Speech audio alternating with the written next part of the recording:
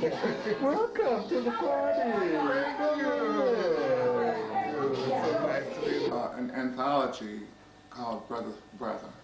Uh, uh, many of my good friends uh, who are here and some who are gone are published in this book.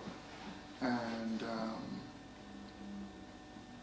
this has sort of become uh, the new black gay man's Bible in America, next to the first black gay anthology, uh, which that was written by a, a black man named Joseph Beam. Um, anyway, the poem is, is called Brothers Loving Brothers. Respect yourself, my brother, for we are so many wondrous things. Like a black rose, you are a rarity to be found.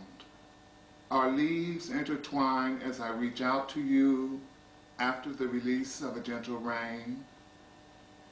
Your precious gem, black pearl that warms the heart, symbol of ageless wisdom, I derive strength from the touch of your hand. Our lives blend together like rays of light.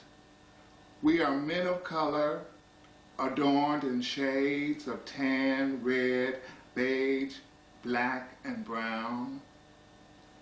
Brothers born from the same earth womb. Brothers reaching for the same star. Love me as your equal. Love me, brother to brother. Yes. Just to read poems, poetry, I, I thought, oh my God, I, I, I don't know it in English. And then I remembered this one is in English, ah. so I'm, I'm lucky. And did you write it? No, no, no, I didn't. No, no, no. He copied it. Somebody called Peter McWilliams. I don't know. Anybody knows him? Peter McWilliams? I don't know. I don't know where I found it, but I really like it a lot. There's no title. I don't know. So You I found it? I found it. Yeah. Okay. Yeah. Okay. You can start. Start then, go ahead. I must conquer my loneliness alone. I must be happy with myself, or I have nothing to offer you. Two halves have little choice but to join. And yes, they do make a whole. But two wholes, when they coincide, that is beauty, that is love. Like good old Jesse, just mm-hmm. Jackson. Mm-hmm. No, because I am somebody. Oh, Jesse.